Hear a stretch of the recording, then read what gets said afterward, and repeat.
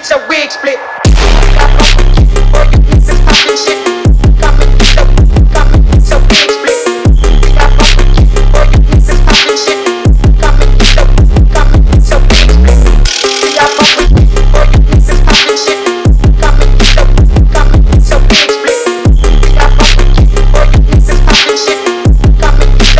Come and get your wig split.